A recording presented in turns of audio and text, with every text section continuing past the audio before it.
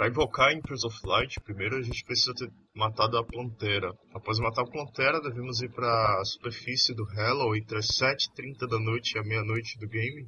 Essa é a janela de spawn da Prismatic Lacewing, é um inseto que devemos pegar para spawnar a Empress of Light. Podemos usar Water Candles e Battle Potions para aumentar o spawn de criaturas na superfície. A gente também pode usar o Guide to Critter Companionship para não matar a Lacewing sem querer e um Lifeform Analyzer que dirá se existe alguma Lacewing próxima. Após pegar a Lacewing, basta soltá-la e matá-la no Hello durante a noite para invocar a Empress of Light. Se você soltar a Lacewing durante a manhã, ela some rapidamente.